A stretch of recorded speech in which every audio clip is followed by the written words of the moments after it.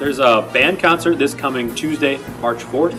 Um, jazz band, concert band, and wind ensemble will be performing popular music. That means uh, music you will recognize, things from movies and musicals like uh, Aladdin and Little Mermaid and Pirates of the Caribbean and um, Family Guy, stuff like that.